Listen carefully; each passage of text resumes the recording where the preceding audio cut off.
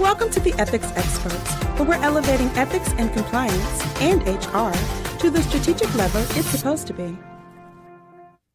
Hello, everybody, and welcome to the Ethics Experts. I'm your host, Giovanni Gallo, co CEO of Compliance Line, and we're excited to bring you this show today. We got a great guest for you today. Byron Earnheart is joining us from North Mississippi. Byron, welcome to the show, man. Hey, Giovanni, great. I'm glad to be here. Thanks for having me. Yeah, sure. Glad you're here. Um, so, want to welcome everyone to the show. Thanks for being here. I appreciate you guys tuning in and listening or, or watching us. And if you are a subscriber, I just want to say, super glad that you're joining us today. And hey, everyone else who's not a subscriber, that's what you get on the Ethics Experts. If you subscribe, you get an extra special welcome at the beginning of every show. So hit subscribe, share it with your friends, and let's continue to make the world a better workplace. Um, Byron, thanks for joining us today. Super uh, excited to jump in and talk about ethics and banking um, and a bunch of different topics. Uh, just to start out, this is the Ethics Experts. We tell the personal stories of people in the ethics industry. Um, so tell us your personal story. Tell us your path, your career path, and how you got to where you are today. Oh, thanks, man. Um, yeah, um, I, guess I could say I've always kind of grown up in a bank. Um, my dad, uh, we grew up. The family is from. He grew up here in the same town that I live in, a little little town called Tunica, Mississippi, about an hour south of Memphis, Tennessee, straight down Highway 61. Um, my dad went to work for a bank, uh, he came back to farm actually, and um, he he farmed for one year with his father and brother. Um, there was a bad cotton cotton prices kind of took a hit and my mom my mom told him you know find a new wife or find a new job. And so he went to work for a bank um, to quote ride the cotton prices out.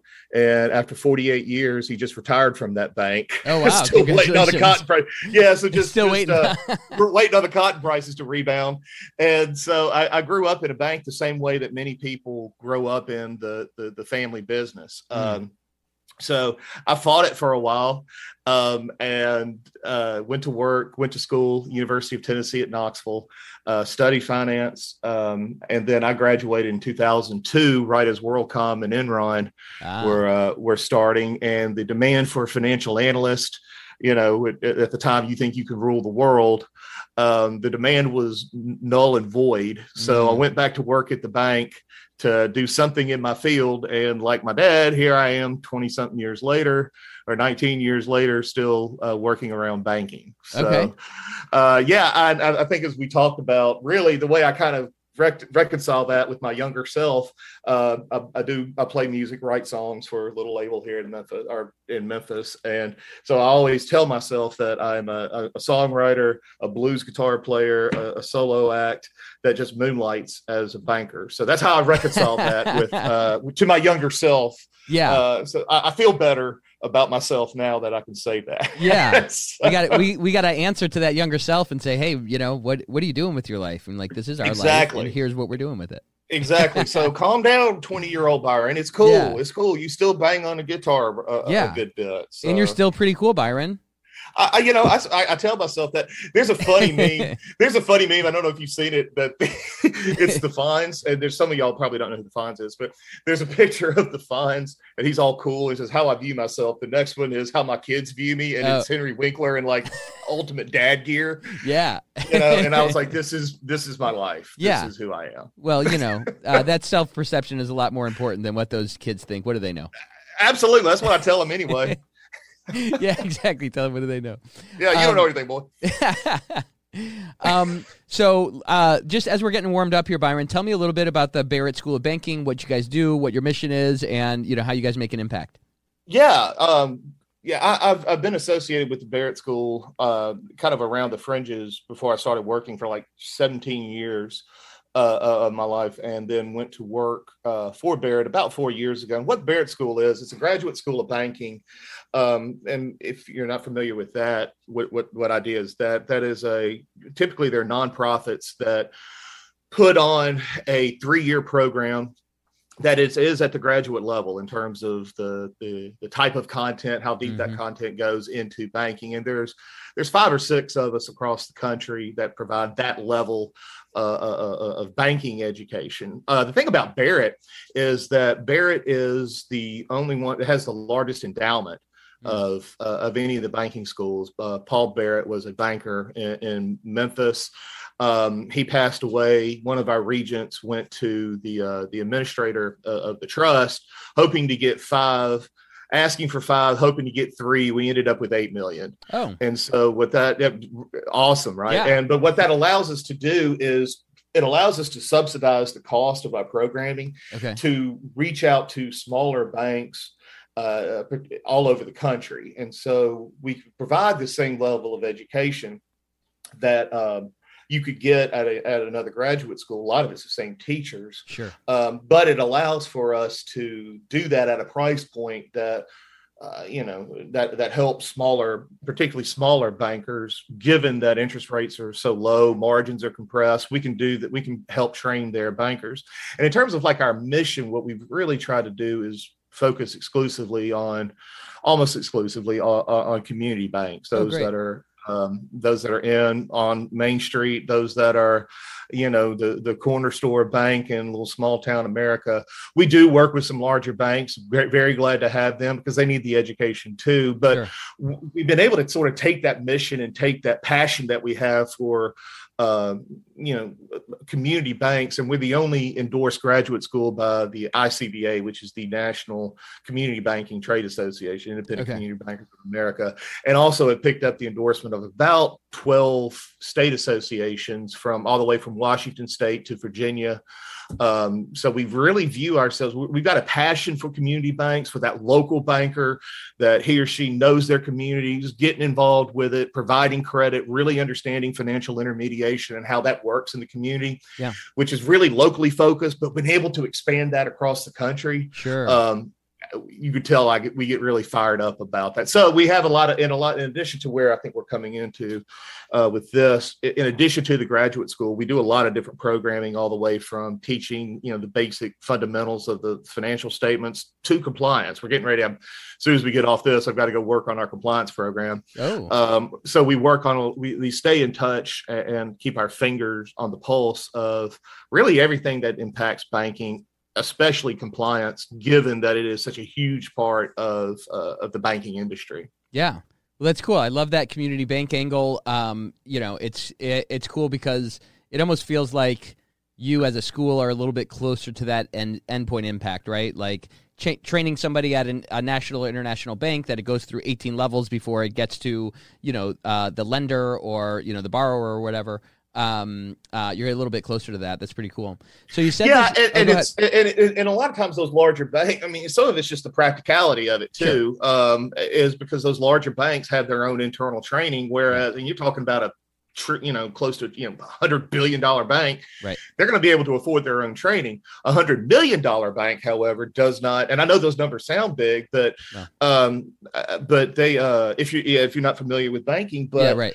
They're not able to afford the, the the level of training maybe that another bank twice their size or five, five times their size, which would still be sort of a small mid-sized bank. Right. Um, and quite frankly, there's more of those hundred million dollar banks than there are the hundred billion dollar banks. Yeah, to be honest. Uh huh. Yeah. So there's a little bit of a practical side to it as well. But man, yeah, I mean, it is being able to reach out and work with people who are that many people across the country who are point of the spear working in these communities is really, really cool. That's really, awesome. really cool. Yeah. Yeah, I can tell you're passionate about it, and I love it. Um, so you know, um, we're gonna get into some things about ethics and DEI and ESG and stuff like that. But you know, just to kind of tie it into banking, there's this really interesting point that you brought up about banking that you know maybe not more than anywhere else, but you know certainly at a high level, ethics is tied into the business right? Sure. you, like you need to have ethical actions. You you know reputation is very important. And you said this great thing that you know banks hold people's sweat equity. And for them to survive and you know serve they need to be able to hold that and lend that out well throughout the economy. Um, tell me a little bit about that and how ethics ties into that. Yeah, um, yeah. I teach banking in uh, for a little liberal arts school here in Memphis, and I, I tell my bankers, you know, you'll you'll hear the uh, the idea that interest that interest compounding interest is like the eighth wonder of the world. I make the argument that financial intermediation is the ninth, oh and banks are right at the middle of that because Mm. we're able to take uh, we're able to take people's blood, sweat, and tears as represented by their money. Yeah. People's paychecks, their savings accounts, things that you know, extra money they have laying around if they, you know, fortunate enough to have some. Um, they're able to put that money in a bank, feel secure uh, about that, and then we are then the banks are then able to lend that out into building new homes, starting new businesses, uh, buying, you know, buying that student their first car to go to school, helping them buy their first computer um, to to take to school. Um, all those things really only happen because of financial intermediation which yeah. the to not bore your listeners it's the people that people that net savers people that have money they put money into a bank and the bank lends that out uh-huh. and so there's somebody in the middle making that happen um, so if you think about it in that model the bank's reputation and the way that the bank as a corporate entity, and quite frankly, the way the banker, the reputation that they have, as you all know, that's really hard to build and mm. very easy to blow up.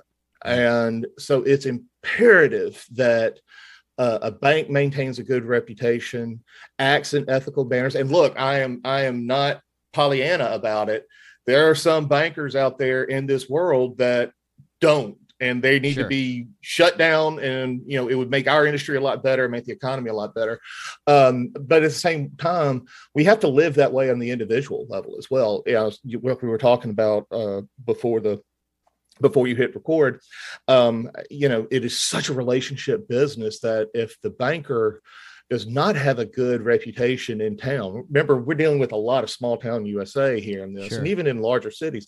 If that banker does not have a good reputation, um, it reflects poorly on them and it reflects poorly on the bank and therefore financial intermediation is really really hard to get into yeah uh, why would you trust that person right plain and simple you know, plain plain and simple. If, if they've got a bad reputation, and look, many of them do. If you've got a bad reputation and you were perceived to be sort of a the technical term being sleaze bucket, then you uh then if you're perceived that way, it's hard to do business, and the public loses their trust in you. Right, and that's that could really impede your ability to do business. Yeah, I I love that you bring it up that way because I think a lot of times in the GRC or compliance and ethics profession, we're talking a lot about these things from some form of distance, right? We talk about the tone at the top and we talk about how people perceive compliance or what it's like when, you know, you send this message out and, you know, broadcast it to 80,000 employees. But at the heart of it is this thing that you're talking about, Byron, where it's a personal reputation, right? And right. Uh, a division in a company can have a reputation. The leader, you know, the leadership, you know, capital L leadership can have a reputation. But at the end of the day, it's a person, right? The like what I what one of the things I love most about ethics is it's focused on people. This is not moving mm. ones and zeros. This is not, you know, building widgets that, you know, you know, fasteners for a bridge. This is all about people. Mm-hmm. And at the end of the day, this is about a person making a decision about another person to trust them or to allow them to lead them or to follow their direction that, you know, if I do this thing, then it's going to be better for all of us. And what's cool, Byron, is, you know, at that community bank level, those those kind of person to organization to combined reputation ties are all still pretty close, right? It's right. you know, you know, like you know, it, it may not be exactly this, but it's like, you know, that's so and so's bank. It may have a different label on it, but it's this person's bank, and that's the person who's going to make decisions about what happens with my money. And that's really at the core of everything that we're doing. And there's this weird thing going on in our economy and in, you know, industry writ large where it's it's almost like it's coming full circle where mm. it kind of started out you know this is kind of my thesis so uh, beat me up on this if you like byron. But you know it started out where everyone was in a town and you knew the candlestick maker and the baker and the shoemaker and you know uh, the doctor and all of that. You knew them you knew their families and all of that. Well companies have grown and you know uh, you know, companies are going across state lines and across countries, and you know, some of them are, you know, have GDPs bigger than other countries and stuff. And it kind of got very disentangled, and it was just kind of this this facade of like, you know, the the the big Colt logo of the company. But we're, you know, I feel like we're coming full circle where people are like, well, you should be responsible for your actions no, no matter how big you are. And there are people that are impacted by your actions, and there are also people driving those actions. So that's what I feel like ethics and compliance and GRC and ESG is about is like putting the human back in these relationships that, you know, whether you pay through an app or you send in a paper check or whatever, it's still about people trusting and interacting with other people.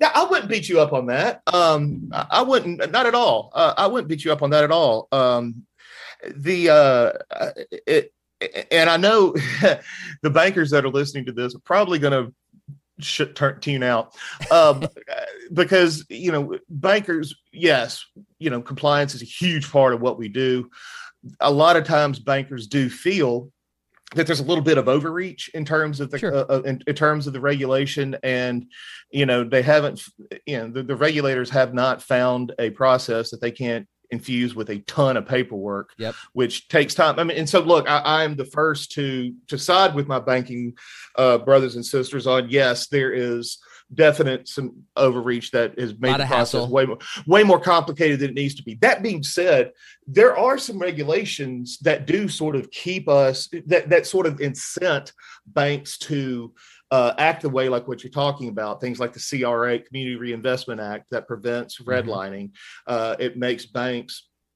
get credit for taking some of their their time their efforts and their money reinvesting it back into the community in terms of financial education. I've i'm, I'm a big believer in that. I've seen that work in the mm-hmm. lives of uh, my town. Uh, we live in a low to moderate income area and so uh-huh. you've got a lot of need for for that. It's the banks leading the way for that. Um, there's a lot you know uh, we can there is a way to dress up a loan with and put in a bunch of fees and dress the interest rate up that you know if there were no regulations like truth in lending um, mm-hmm. you know it would make it tempting to to to do that. So yeah i think there are there is room for that. And i like the way you put that in terms of it being about the people. Yeah. Um because at, at, at the heart of it banking brethren and sister I, I understand what i understand the feeling you're going to get with this but it is about the people and protecting them but also sort of guiding the bank to to to do the things that need to be done and mm-hmm. providing the the rail guards like in bowling when when I bowl I have to put the guards up. Um, you know providing them to say look we all want to get towards the end goal we all want to do right but let's put the rails up to keep you out of the uh, out of the ditch. Yeah. Um, and so uh, yeah there is room for it and again it can go too far the paperwork becomes intense but at the heart of it that really does get back to uh, making making it a people business and, and yeah. interacting with our customers. Yeah, um, yeah, and I like the way you put that because listen, a lot of these regulations and the red tape and the forms and all of that, it's it's a hassle, right? It's just it's just right. how it is. It's a hassle. But you know, I think there are two sides of it. Some of it like avails some things that are good, right? CRA is a good mm-hmm. thing. Let's push that, make it easier for me to say yes sure. to that. And then on the other side, it's you know, I mean, I kind of think of it like these reg, you know, if I'm a good guy well, I don't need the regulations because I'm probably not going to, you know, mess somebody over or do something wrong. But it's kind of like, well, if we're part of this community, uh, if we're part of this profession, and some people need these guardrails, I need to kind of agree to those so that the worst people don't make something really bad, right? It's kind of like, you know, if imagine that I were ever to get pulled over for speeding, um, you know, I would probably be like, well, yeah, but I was doing it safely. You should pull someone else else over because they're they're violating this in a bad way, right? Like I think we feel that way when we're complying with some of these regulations. Like I don't need to do this. I don't need you to force me to be honest and have integrity and have have ethics, right? There's some of these things that like, well, you know what? This is kind of unnecessary for me, but we've got to realize that like it's got to be kind of, you know, equal across the board because when that thing happens, it can have a catastrophic impact, not just on the bank and the reputation and their assets, but their lenders and maybe the entire industry um, in you know how trust people how trustworthy people think you know bankers writ large are.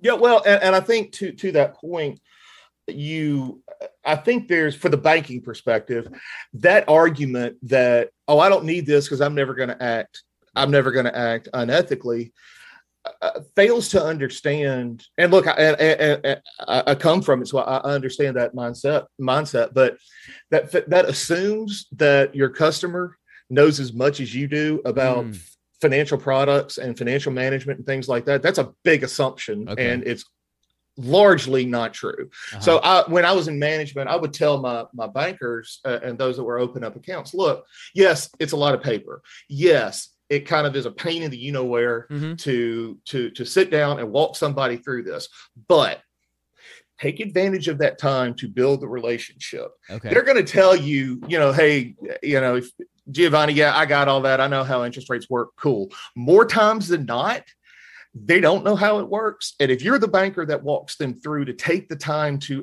to to your point is why i think it's a great point about compliance and ethics being about the people yeah take the time to do a little education because the whole content marketing thing that's been going on right now is centered on educating and engaging with our customers yep. freemium information that helps them out in life and yep. you know that's one of the things i think the millennials have taught us to do um, is, is to to that kind of approach. Look, do it at the desk when you're opening up a checking account. When they're talking about a look, mortgages are complicated as they can be, even sure. for bankers. When you're at the closing of a mortgage, take the time to walk them through the disclosures and take the time to understand. Like, look, you know, when you pay this, your taxes are going to be taken care of. Your insurance, we're, we're going to take care of all that. Oh, yeah, more times than not, or whatever. Yeah, yeah, more time. And, and see, they escrow is something they don't understand, but you explain it to them and say, hey, look, we're going to help you take care of this. Or, you know, when you um, the, the explain to them equity. Look, this is the this is the first lien, and we, if you ever need a second lien, we can help. Take the time to educate them um, because like nine times out of 10, and that's anecdotal, but nine sure. times out of 10, um, they don't know as much as you think they do. Mm-hmm. They're looking to you as the as the expert. Yep. So those disclosures are a perfect time. Don't blow them off with you got to sign this, and you know, yeah. so my boss doesn't get mad. Take the time to educate them about what's going on uh, because most of the time you're not going to get any put nobody nobody's going to get any pushback for you actually showing care and time and effort. Nobody's yeah. going to push back on that. Right. That's great. I love how you put that. Take that time use you know whatever you're being quote unquote forced to do through compliance yeah. to build that relationship build and educate you know educate your customer your client or whoever. That's awesome. Absolutely. and you know i think that that that those kind of little deposits those little actions um, end up building reputation and relationship. And we are talking earlier about how important that reputation is whether mm. it's a massive bank that everyone knows when they see the logo what that means and you know has heard the you know seen the CEO on CNBC or something or the local bank where you know if you drive 20 miles away no one knows what it is. That reputation is important right? And um, you and I were talking a little bit about you know the this concept of like a banker needing to be clean cut as a representation of how trustworthy they are. Not that you have to fit this mold, but you have to deliver some message to the people you work with. You know, in how whether it's through an ad or you know shaking your hand when they walk in the door, that you are a reliable person. Talk to me a little bit about that. Yeah, I, and this this kind of gets into uh, you know a, a, lot of stereotypes that aren't true and probably don't need to be true, but they are. Okay. Um, it's it's why you you see a lot of bankers as sort of clean cut, button down uh, people. Not that, and look, I, I, like I said, I'm a songwriter, blues guitar player. I wish I was a rock star at heart. Yeah. But you know, it, it, and this isn't a fair statement. I fully admit that. But if you know, people that want to put, if you're going to put your, if people are going to put their money and their blood, sweat, and tears into a bank, they tend to feel better if there's a, a representation that exudes uh, conservative, not political, but uh, not necessarily political, yeah, but a, conservative, safe.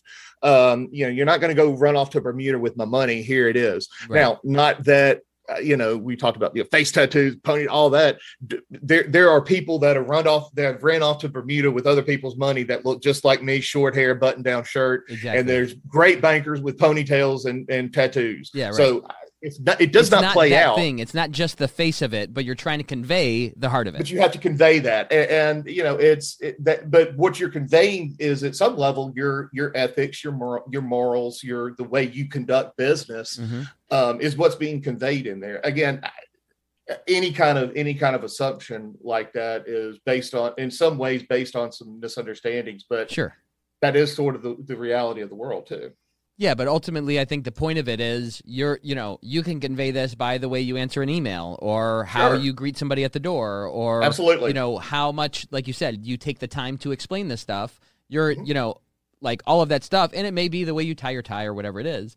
Um, But you're trying to convey that, you know what, like we're on the same team. I'm concerned about your well being. I know how to do my job. I'm a professional at this. And, you know, let's, let's do this thing together, whether it's, you know, lending, borrowing, you know, checking, whatever Sure. it is. I like that. Yeah, let's do this thing together. I'm like, you know, this, let's let's do this, and it's so reflective of the community, which is why community banking is so important. Right. You know, it, it's so reflective of the community and uh, being able to pro- being able to project that, but getting out in the community, going to the football games, going to the soccer games, Mhm. shopping locally, all that it factors into it. Sure.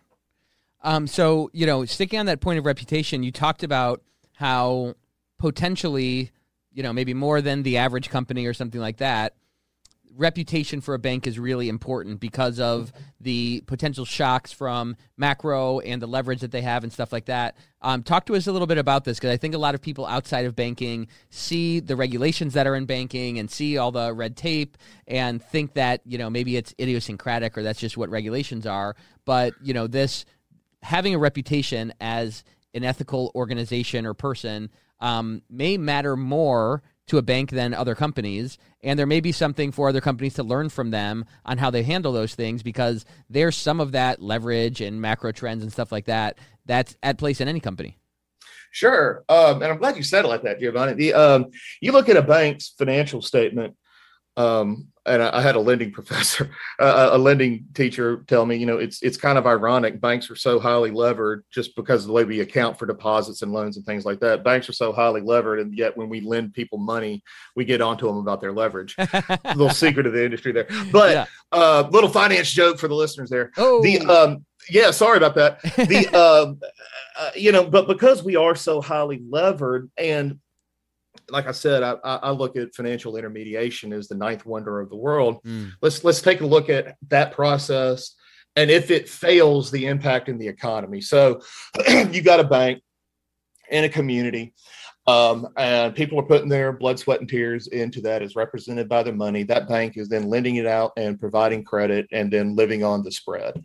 And that's fundamentally what fundamentally what banking is. Sure. if that bank becomes for whatever reason perception or or or, or justified uh, viewed to be uh, unethical just sleaze buckets. Yeah.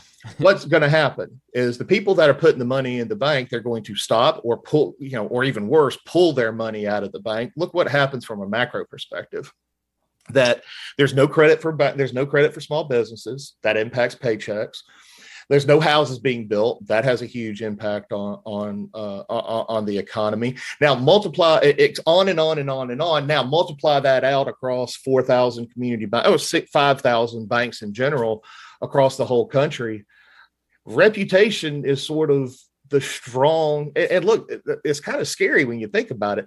Reputation of the banking industry is sort of one of the glues that sort of holds this whole thing together. Right. um i don't know if i I- i'm not i agree with you that it is it's important for all companies.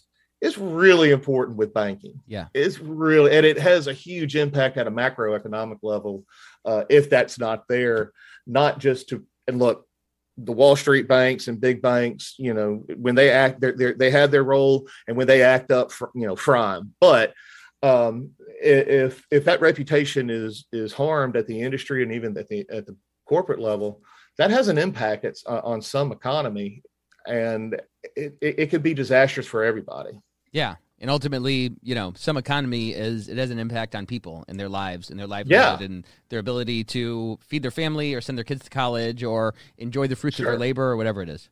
Sure, and, and even the, there's a psychological impact. I mean, if you're if I've got my Mm. money in one bank, all the blood, sweat, and tears, you know, from my job that I do, the 60, 40, 60, whatever that is, I put my money into a sleaze bucket.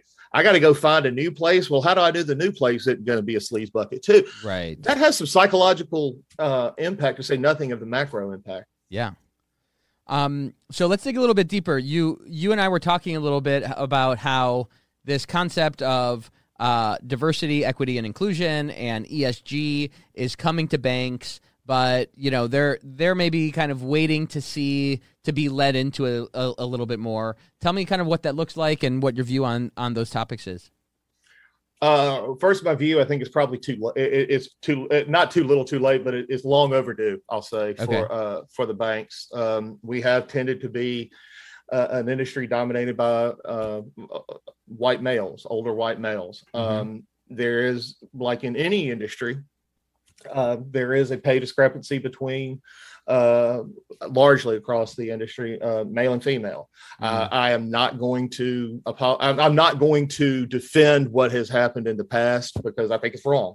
Sure. Um, however, I, I do. We are starting to see that in in our regulations, in our exams, that uh, the government is going to start looking at ESG and DEI uh, as part of our lending process, making sure that we're working on uh, and working with ethical companies and lending money to them. Now, what that looks like, we don't know Sure. uh, and then also the way that the bank conducts its own business. We're really waiting on what that looks like. Um, that's a really good idea at the thirty thousand foot level. Yeah. What does that mean for for banks? We really don't know. We're kind of waiting to to see what that looks like. Um, you know, I don't, the the waiting to see you know every two years we change governments and change regulations Yeah. and you know, the, the the those that make the rules so some of that's probably going to have to come after a 22 or 24 Okay. election and then whatever the government looks like at that point that said we don't know um what that looks like my guess is and this is my view only uh you know this my view does not represent the uh the banking um i, I do This is I- not I think- financial advice. no, this is not financial advice. No, Lord, don't don't don't take my financial advice. Um, the uh, the uh, I do. I think we're going to be having to look at uh, you know, our, our, particularly on the DEI side. I think we're going to have to look at uh, our, our pay scales, our pay differentials. Okay. Uh, uh, I think our hiring practices are going to be are going to be examined. Probably need to be, definitely need to be in some cases. Um, but not only that not and making sure that we're not only saying the right things but doing the right things and look again that kind of comes back to your reputation and you know bankers do tend to be uh pretty you know safe conservative people and so it kind of comes back to well that doesn't apply here Mm, regardless of whether or not you agree with the regulation and that's a different argument than the regulations coming and you got to comply with it anyway your your Okay. opinion on the matter really is interesting but probably irrelevant yeah. um so i that i really think i'm beginning to see that happening so your um you know your, your own politics is great and, and understand you do you do you do you but those that are making the rules are probably getting ready to change some of those so Okay.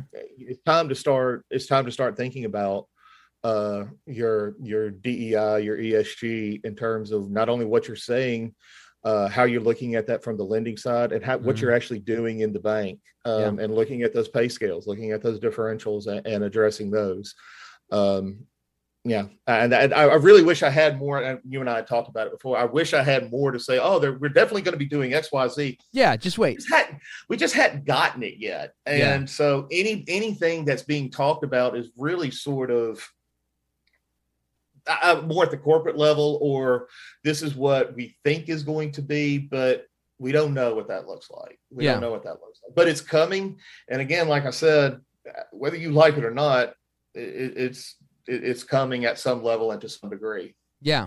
Yeah, I think it's an inter- interesting perspective, and a lot of industries are dealing with with it right Mhm. now. Like, what does ESG mean? Well, it means uh, environment, social, and governance. But what does it mean for us, right? What are we supposed to do with it?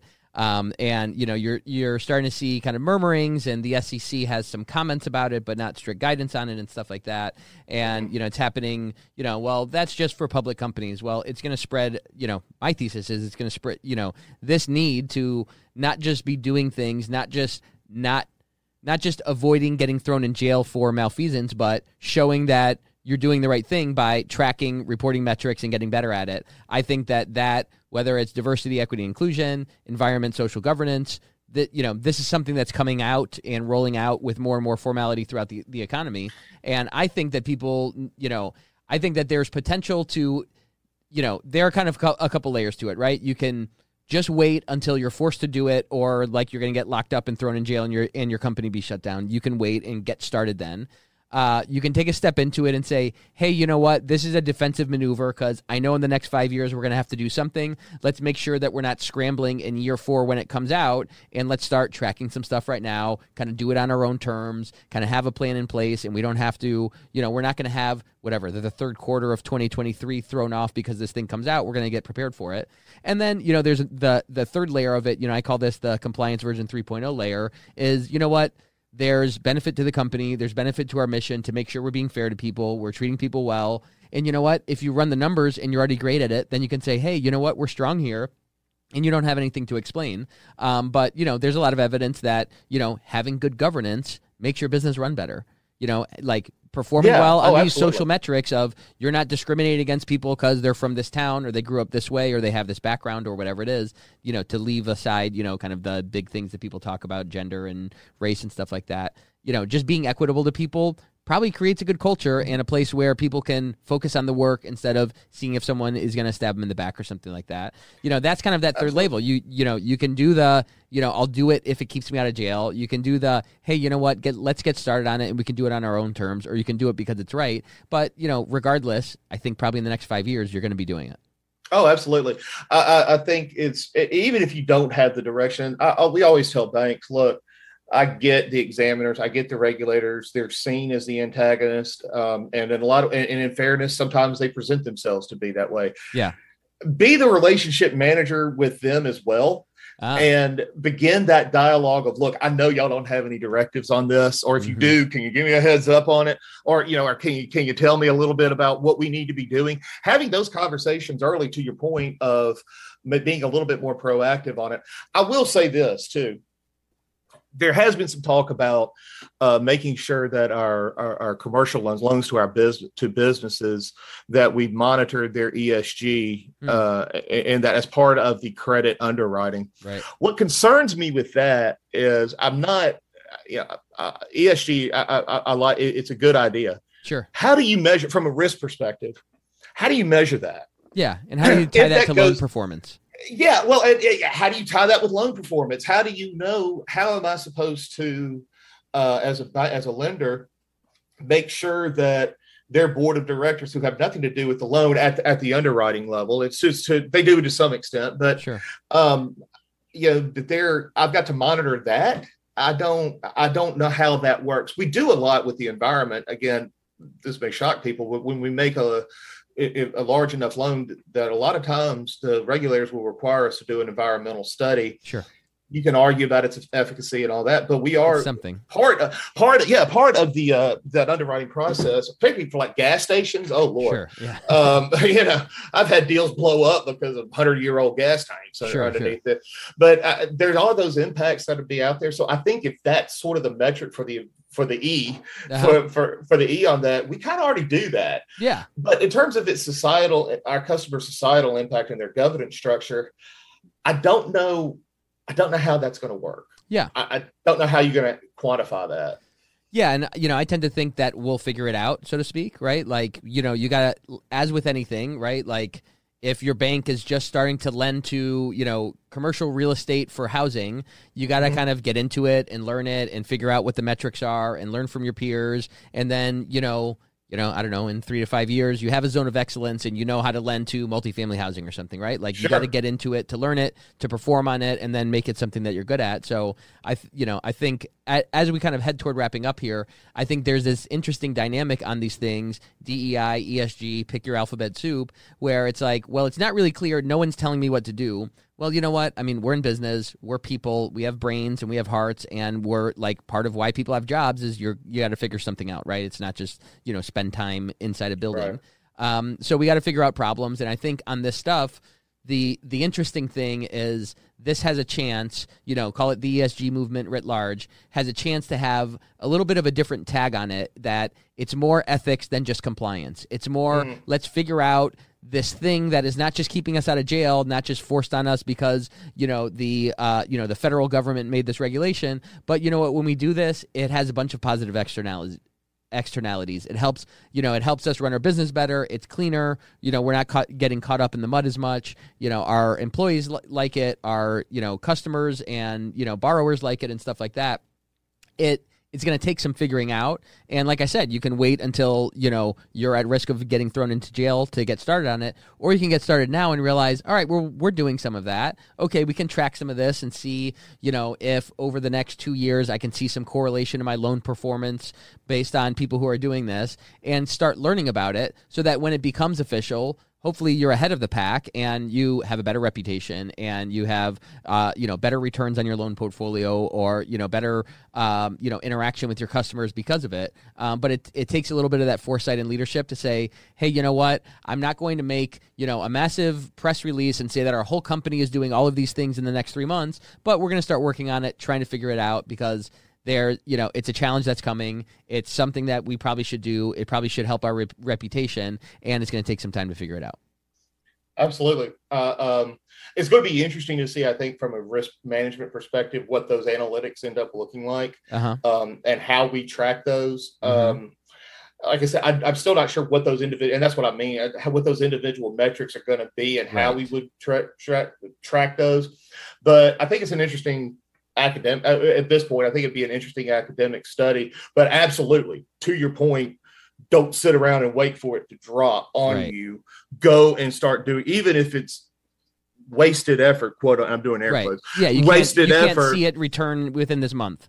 Yeah, if, even if it's quote wasted effort and whatever the metrics are aren't what you're doing, you did something and talk to your regulators and you did something that to, to, to right. start addressing that nobody's going to burn you for uh, for doing something that was in anticipation of mm-hmm. uh, an initiative like this unless you keep doing it and don't match up with what the regulators tell you but right. nobody's going to burn you for t- being proactive on this so go be exactly. proactive on it that's great uh, well, this has been great, Byron. This has been a lot of fun. I appreciate yeah. you sharing your perspective. I love the reputation bit. I love the you know the community banking aspect, which is you know you're a little bit closer, kind of eyeball to eyeball with people, and you know you you you see that cycle of a decision, you know, impact of reputation and how that mm. impacts your business. You see that more closely tied together. Um, so I love that perspective that, that you've brought. As we wrap up, any last words you want to leave with us, or you want to tell us when your next blues concert is, or what?